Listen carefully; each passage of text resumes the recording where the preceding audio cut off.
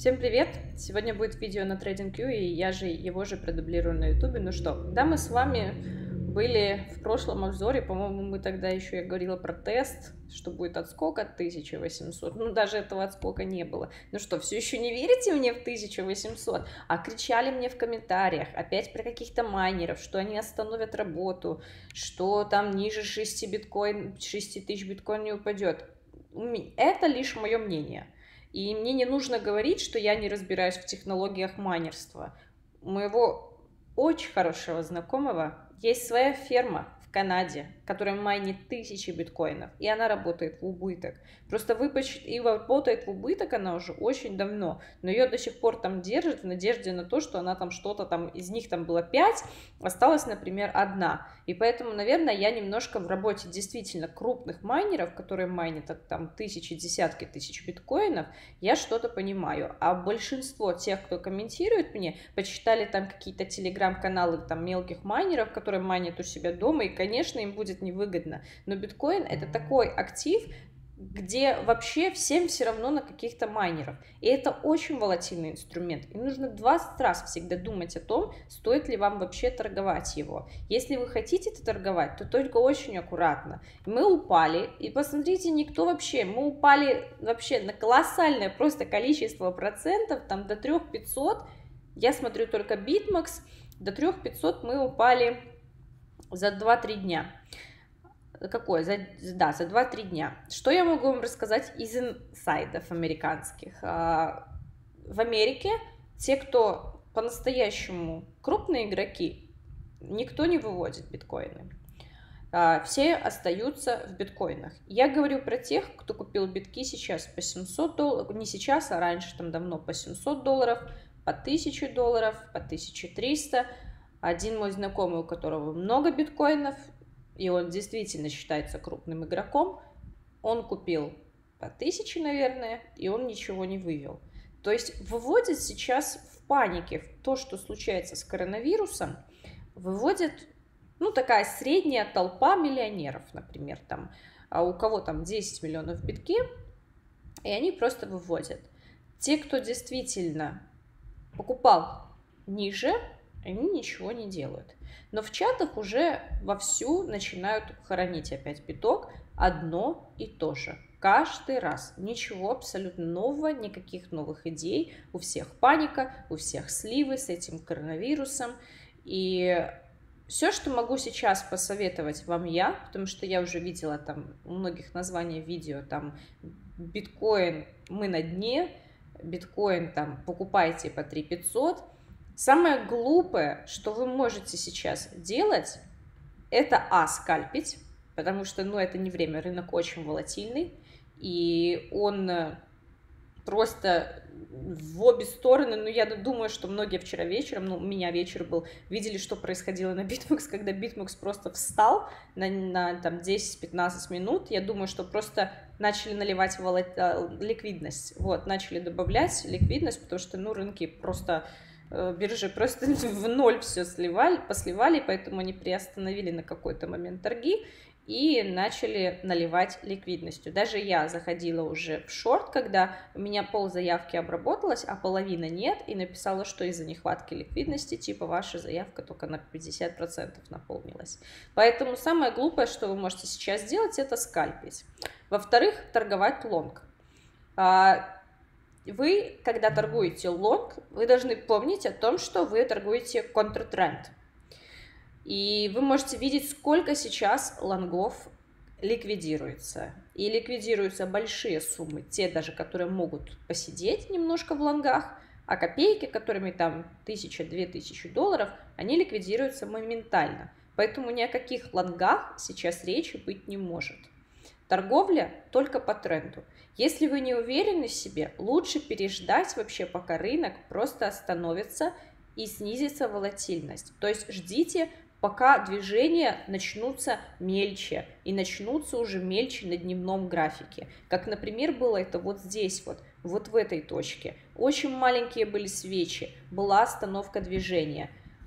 Мы здесь сделали импульс, в этой точке сделали импульс, а в этой мы начали замедляться, это и есть спад волатильности. Только тогда можно рассматривать какие-то возможности разворотов.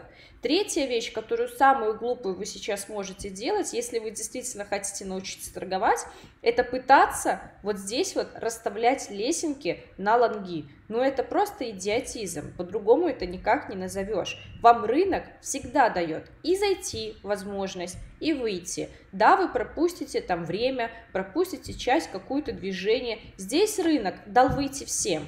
Если вы здесь не вышли, здесь рынок дал выйти всем. В этой точке он всем дал зайти. Правда ведь? В этой точке он всем дал выйти. Но просто вы настолько думаете, что вы там трейдер уровня бог, вот, поэтому начинать вот, и никакая я не поверю, что это стратегия. Опять же, это только мое мнение, и это мое видео, мой канал, где я высказываю свои мысли, они могут не совпадать с вашими, либо резонировать с какими-то вещами, которые вы слышали ранее, но вот по мне как бы так, я пробовала все эти вещи, про которые говорю. Я и контртренд торговала, я и вот так позицию на свечах добирала. И это не про трейдинг совершенно. Вы ничему так не научитесь. Одно дело, когда вот здесь вот начинать набирать лесенкой, а вы знаете, куда он упадет? Вы знаете, до каких уровней он упадет? А если он придет, ну 1800, конечно, то у меня там есть один уровень, но это может быть очень кривая такая 1800, там 200 он остановится, либо он сейчас уже остановился. Но вы знаете, когда дно, а если он пойдет еще дальше, что тогда? Вы будете ждать ликвидацию, либо будете ждать год, пока он восстановится. Вы не знаете, на каких, до каких точек он дойдет я уверена, что никто не станет. Говорят, что в апреле с коронавирусом будет еще хуже. И, конечно, если они хотят сейчас часть захеджироваться в биткоин, естественно, они будут опускать цену ровно настолько, чтобы хватило ликвидности, а ликвидности на рынке сейчас очень и очень мало. Ужасный спред на битмаксе между ценой и индексом на BitMEX е между индексом и ценой. Огромный разрыв. Биржам дайте восстановиться, дайте выпустить пар. Что вы торгуете? Никаких лонгов, никаких вот этих вот наборов. Одно дело, когда остановилась и началась какая-то там консолидация, может быть даже с повышением каких-либо максимумов, тогда можно здесь, здесь и здесь набирать свою позицию. В этой точке можно было набирать шорты, но вот тут вот расставлять эти лесенки, все это убийство для депозита. Я вам серьезно говорю. И никто так из трейдеров не делает, потому что ну, из настоящих трейдеров, кого я знаю, никто так не делает, потому что ну, это абсолютно никакой стратегии. Для меня биткоин еще падение не закончилось. Если оно закончится, я это увижу. Увижу это по определенным паттернам, увижу это по свечам, сейчас смотреть только час, потому что на пяти минутке происходит жесть, никакого скальпинга. И если вы сейчас даже, не вы сейчас, если биткоин, вот здесь вот была хорошая точка входа в шорт, даже если вот на тест, даже не натягивая объемы, я понимаю, что объемы сейчас будут показывать, например. А если мы возьмем, давайте час возьмем, да, нет, давайте возьмем 4 часа. Если вы вдруг натянете профиль объема, то он будет показывать вам два проторгованных объема. Вот в этой части, вот в этой части и вот в этой части. Я даже, ну и естественно, конечно, вот здесь. Вот у вас будет примерно такой профиль объема. Почему он абсолютно можно и без профиля это понять? Вот здесь совершается много-много-много позиций, крупники эту позицию либо сбрасывают, либо набирают, а когда уже здесь летит цепная реакция, уже летит вся мелочь и весь ритейл. Крупники на таких вещах не летят. Конечно, потерялись очень многие деньги, многие хедж-фонды на крипте развалились, ну, потому что они торгуют по такому же там техническому анализу. Дальше, поэтому хорошая точка входа я ее не, не могла увидеть, потому что у меня, ну, я спала, а я ведра никогда не расставляю. У меня была еще такая, такая до сих пор ночь.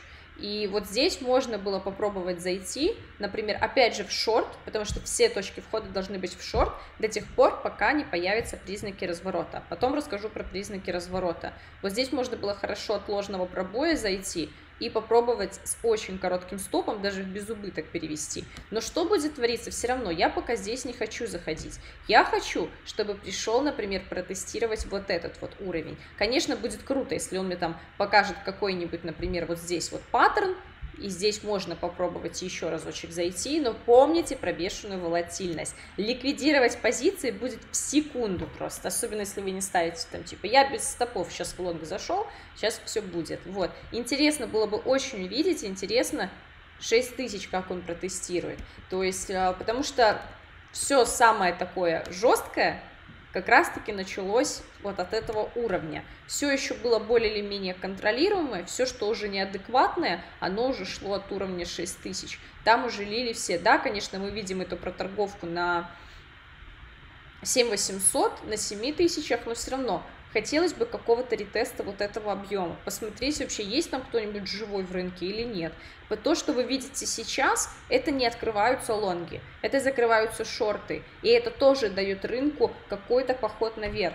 Никакой ловли дня, дна. Потом мне говорили что-то там про объемы. Если, например, мы возьмем сейчас объем,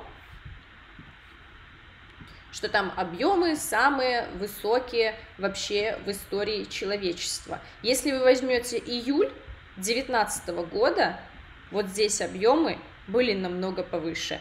Размер свечи не имеет значения, имеет значение повышенный объем.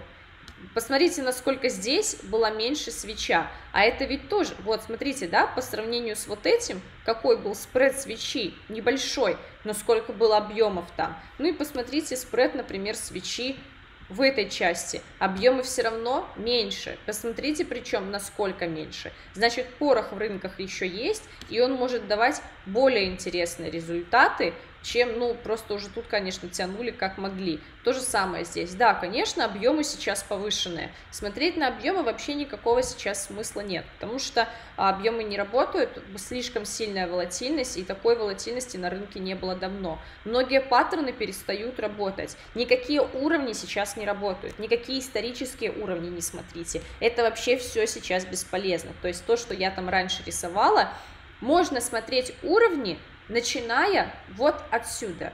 Вот отсюда стройте какие-то новые локальные уровни на 15 минутках, на часе, на 4 часах, но они начнут появляться, нормальные какие-то уровни технические, начнут появляться тогда, когда, а, тогда, когда остановится инструмент и начнет что-то показывать. Как бы лучше пока на самом деле не торговать. То, что вот смотрите, вот эти уровни уже бесполезные, вот это все бесполезное, ну и естественно и вот это тоже все бесполезное. Они сейчас, они не работают. При таком сливе обновятся абсолютно алгоритмы, и я уверена, что фьючерсы закроются внизу, потому что фьючерсы, когда открывались, контракты на фьючерсах уже все понимали о том, что будет введено чрезвычайное положение в Америке. Сегодня Трамп через пару часов Через полчаса Трамп будет давать конференцию, и я не знаю, как это повлияет на рынок, потому что, возможно, он захочет там ввести чрезвычайное положение, а возможно, он скажет, все прекрасно, мы победили коронавирус, и тогда все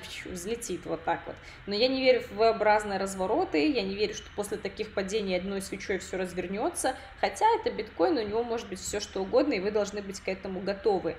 У нас э, просто творится какая-то абсолютная паника, и в магазинах стоят люди в очереди, покупают соки, пиццы замороженные, покупают какие-то полуфабрикаты, 5 упаковок сока. Ну, американцы, в принципе, любят закупаться. А то, что зашел коронавирус, все такие немножко... Ну, то есть я вот ничего не купила, на самом деле, в себе про запас, потому что я знаю, что всегда будут продукты, но, из но невозможно просто сходить за продуктами, потому что в очередях нужно стоять по 3 часа, и люди просто не справляются, эти пустые полки, это вообще... И многие пишут, что паника только началась. И паника начнется, и ее самый такой, самая сильная концентрация этой паники будет в апреле месяце.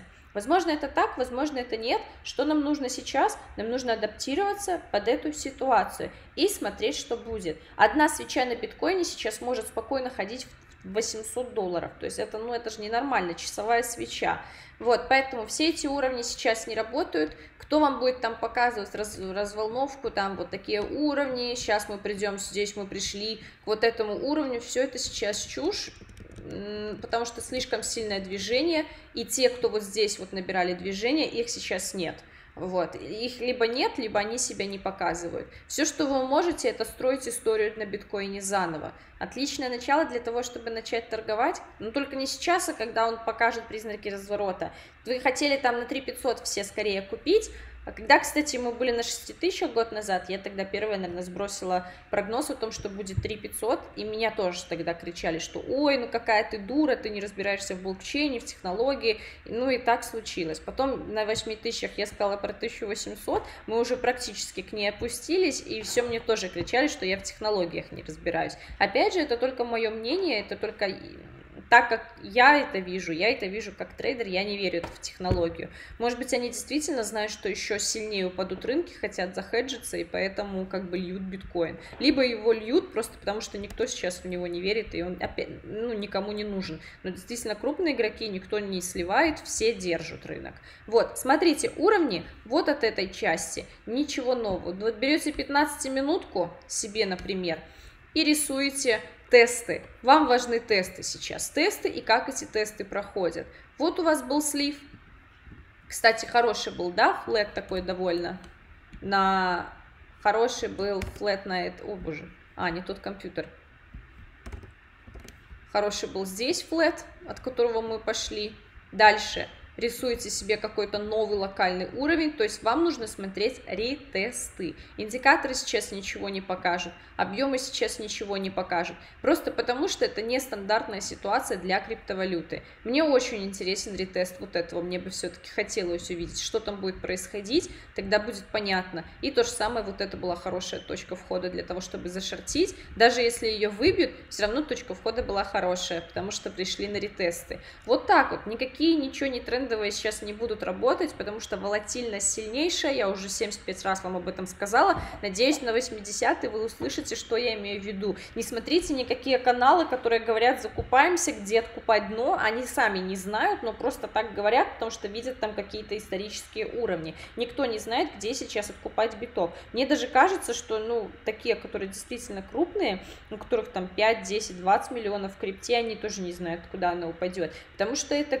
ну, считайте, что это кризис, вы же ждали все кризисы, вот он и наступил. Но однозначно для нас это лучше, что чем сильнее он падает, тем лучше он будет расти, тем выше он еще пойдет, и тем сильнее будет тренд. Главное поймать разворот тренда, он всегда вам даст зайти, и будем уже смотреть по ситуации, пусть он пока хотя бы успокоится. Тем более, ну, сделайте себе выходной, суббота же, это же каникулы эти, выходные на семье. Вот, поэтому можно будет просто посмотреть. Мне бы хотелось, конечно, увидеть такого там недельного вялотекущего отката, чтобы потом еще раз зашортить. Если увижу точку входа в шорт. Ну, на эфире тут даже нечего рассказывать, все повторяется за биткоином. Вот, у эфира вот зона, смотрите, куда пришла эта свеча, я думаю, вы тоже видели, как на битмиксе она вчера была, вот мы эту зону пробили, зоны не, не меняются абсолютно, вот мы эту зону пробили, смотрите, как мы к ней четко пришли, раз, два, три, оттестировали, то есть видите, как, вот, как иногда можно научиться грамотно рисовать зоны и, и понимать, что ты рисуешь, а не просто там какие-то уровни, оттестировали эту зону, и вот здесь еще была точка входа, была масса. Здесь была хорошая точка входа, огромное количество. Но никто не знал, что криптовалюта так сильно упадет. Даже я не знала, что такой будет большой слив. Когда там я увидела, проснулась 40%, я просто не поверила своим глазам, серьезно. Вот. И поэтому тут то же самое. Да, это, конечно, кто-то заходит, кто-то покупает. Если есть продавцы, значит, есть и покупатели. Вот. Но рынок очень волатильный. И рынок до сих пор еще, у него есть объемы здесь на пиках. Это значит, что про, про предложение еще на рынке есть. Ну, уже хотелось бы какого-то спокойствия подождать, хотя бы, чтобы пару тиньков просто утихомирился. Ну, будем смотреть, что там Трамп сегодня объявит. Вот такой вот обзор. Подписывайтесь. Самое лучшее время сейчас, на самом деле, это пойти ко мне в апреле учиться, а, потому что это то, что вам действительно поможет в вашей торговле.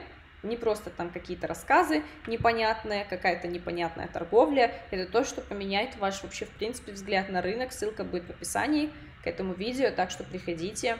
Я готова, вы тоже должны быть готовы. Все, всем спасибо большое за обзор, всем удачи!